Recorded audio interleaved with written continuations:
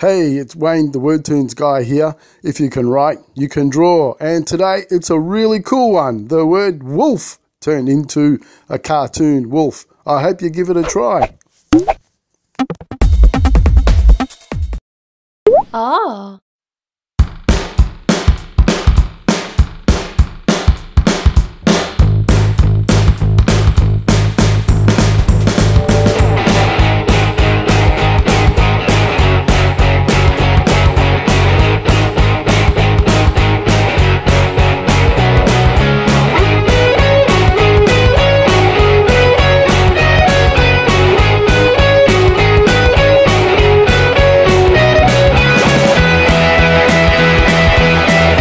Shut the front door. There we go. The word wolf into a cartoon wolf. Hey, draw it and show it to somebody and ask them, can they see the word wolf in your cartoon?